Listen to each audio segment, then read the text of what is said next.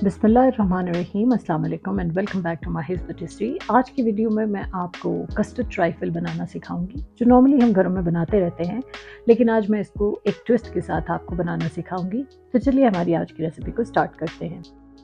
इस रेसिपी के लिए सबसे पहले हम जेलीज़ बनाएँगे। बाज़ार में मुख्तु ब्रांड्स की जेलीज़ अवेलेबल हैं। सिर्फ़ मैं आज आपको उनको बनाने का तरीका सही तरह से बताऊँगी। आपने जो जेली के डब्बे पे इंस्ट्रक्शंस लिखी होती हैं, उसमें दो कप पानी का इस्तेमाल किया जाता है, लेकिन दर हकीकत आपको दो कप नहीं जस्ट वन मेजरिंग कप आपने पानी का लेना है और एक पैकेट जेली का उसमें शामिल करके उसको अच्छी तरह से डिज़ोल्व कर देना है। जब आप पानी की मकदार को जेली बनाने के लिए कम इस्तेमाल करेंगे तो आपकी जेली बहुत फर्म बनेगी और इस रेसिपी में हमें फर्म जेली की ज़रूरत है। ये देखें, एक नॉर्मल सिलिकॉन मोल्ड है, ये मेरे पास अवेलेबल था, मैंने इसको थोड़ा सा ऑयल से ग्रीस किया है। आपको, आपके पास ये मोल्ड नहीं है तो आप जो भी अवेलेबल है मोल्ड आप वो ले सकते हैं, लेकिन ये मोल्ड्स जो हैं सिलिकॉन के, ये इजीली अवेलेबल है दराज पर तो आप इनको ख़रीद सकते हैं। ये पहले आप जली जो आपने रेड जली बनाई है, वो इसमें पोर करेंगे और उसको सेट होने के लिए फ्रिज में रख देंगे। अब हम दूसरा पैकेट जली का बनाएँगे, किसी भी कंट्रास्ट कलर में ले लें, मैंने ग्रीन कलर इस्तेमाल किया है तो इसको भी आपने उसी मेथड से बनाना है, एक कप आपने पानी लेना है। बस जेली अब हमारी तैयार हो जाएगी। और हम, ये देखें रेड वाली को जब हम निकाल के लाए तो वो बिल्कुल सेट हो चुकी है उसमें रेड जेली अब इसके ऊपर हम ग्रीन जेली को पोर करेंगे। यहाँ पे आपने एक चीज़ का ख्याल रखना है कि ग्रीन जेली बहुत बॉइलिंग हॉट नहीं होनी चाहिए। थोड़ा सा आपने उसके अंदर चम्मच हिला के उसको थोड़ा ठंडा कर लेना है। अब आहिस्ता आहिस्ता हम रेड के ऊपर ग्रीन जेली को पोर करके सेट होने के लिए छोड़ देंगे।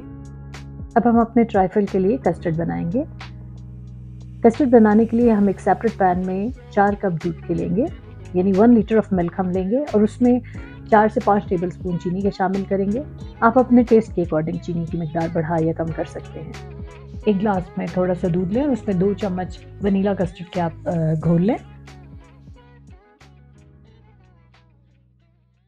अब हमारा जो मिल्क था वो गर्म हो चुका है, उसमें हम अब कस्टर्ड का मिक्सचर डालेंगे और इसको थिक होने तक पकाएँगे।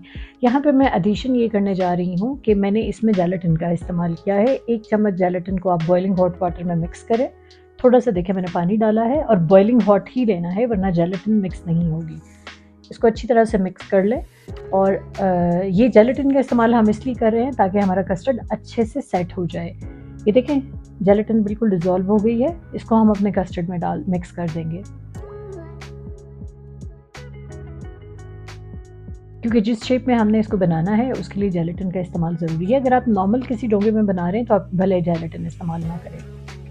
ये एक नॉर्मल वनीला केक है, जो मैंने घर में बेक किया है। इंशाल्लाह मैं कमिंग वीडियोस में आपको केक्स बनाने की तमाम रेसिपीज़ शेयर करूँगी। एक मीडियम साइज़ हमने एप्पल लिया है और दो से तीन अदद बनाना लिए हैं। ये देखें हम अपना मोल्ड निकाल के लाए तो दोनों जेली सेट हो चुकी थी। इसके ऊपर हम अपना जो वनीला केक है, उसको चंक्स में काट कर फैला देंगे। साथ ही हम थोड़े से फ्रूट्स फैला देंगे, जिसमें बनाना और एप्पल शामिल है। आप कोई भी फ्रूट इस्तेमाल कर सकते हैं, जो आपको इजीली अवेलेबल है। मुझे स्ट्रिक्ट फ्रूट्स यानी कीवी वगैरह इसमें पसंद नहीं है, इसलिए मैंने सिर्फ़ बनाना और एप्पल का इस्तेमाल किया है। बस हम ऑल्टरनेट लेयरिंग्स में केक्स एंड बनानास को मिक्स करके फैला देंगे और अब हम अपना सारा कस्टर्ड इसके ऊपर पोर कर देंगे।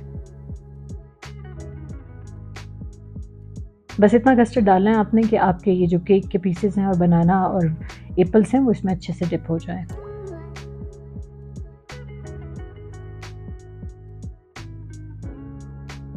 अब हम इसको सेट होने के लिए छोड़ देंगे। ये देखें हमारा कस्टर्ड बिल्कुल अच्छे से सेट हो गया है। ये सिलिकन मोल्ड जो है वो साइडों से बड़ी आसानी से उतर जाता है। हम पहले नरम हाथों के साथ इसको साइडों से अलहदा करेंगे। ये देखें थोड़ा थोड़ा मैंने साइडों से अलहदा कर लिया। अब हम एक प्लेट इसके ऊपर उल्टी रखेंगे और इसको फ्लिप कर लेंगे। इस तरह से ये सारा काम आपने एहतियात से करना है। अब ये मैं एजेस से इस सिलिकॉन मोल्ड को उठाना शुरू करूँगी। ये देखें मैंने इसको सारी साइडों से उठाया है। आपने ज़रा एहतियात से उठाना है ताकि आपका कस्टर्ड जेली की कोई लेयर टूटने ना पाए। आपको आपकी स्क्रीन पे नज़र आ रहा होगा मैंने किस तरह से इसको उठाया है। यहाँ पर हमारा खूबसूरत सा कस्टर्ड ट्राइफल तैयार है। आप देख रहे हैं कितने खूबसूरत कलर्स आए हैं जेली के और आपका कस्टर्ड कितने अच्छे से सेट हो गया है। मैं आपको कट करके दिखाती हूँ। ये देखें मैंने इसको एक साइड से कट कर किया है तो आपके फ्रूट्स वगैरह सारे अच्छी तरह से एडजस्ट हैं। आप इस रेसिपी को ज़रूर ट्राई कीजिएगा और हमें फीडबैक दीजिएगा।